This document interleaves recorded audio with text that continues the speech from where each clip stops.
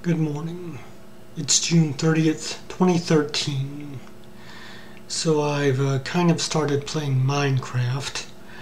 I um tried to play it once before, but I didn't really care for the blocky graphics. But I thought I'd give it another try. And um well, it's okay. It's um kind of boring. But sometimes it gets interesting and sometimes it just stays boring. And the terrain in the game seems to be randomly generated. Sometimes you get sand, sometimes you get green grass and trees, and sometimes you um, even get concrete. And, um, well, it also has weather. There's uh, snow, rain, thunderstorms, and uh, well, so far that's all I've seen. But it does have day and night also. And uh, well, I prefer the day so I could actually see what I'm doing. But night is interesting because you uh, kind of get um, wild animals attacking you during the night. Not really that much during the day.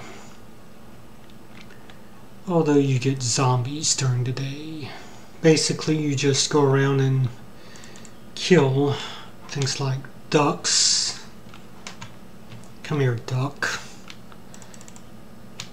And uh, pigs and chickens and things like that and even some um, humanoid humans, I guess.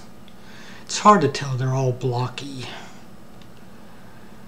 And you also go around and collect lumber and um,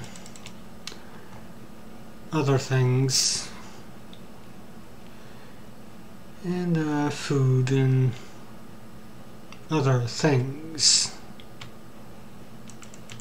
Did I mention it was kind of boring? Yeah, this is just in single player mode. You can actually go online if you want to and um, play with other players. And I'm guessing that makes it a little more interesting. I'm not sure, I'm kind of new to it. But um, I kind of just prefer single player. Although I'm sure multiplayer has its perks too. So, uh, yeah, I'm just building some kind of structure here for no reason at all.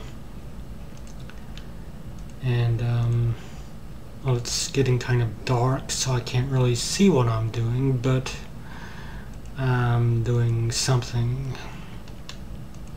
So I guess I'll just wall myself up here and uh, since I can't go anywhere I guess I'll just fly around some and I guess I'll wrap this video up now and um, I'll see you later.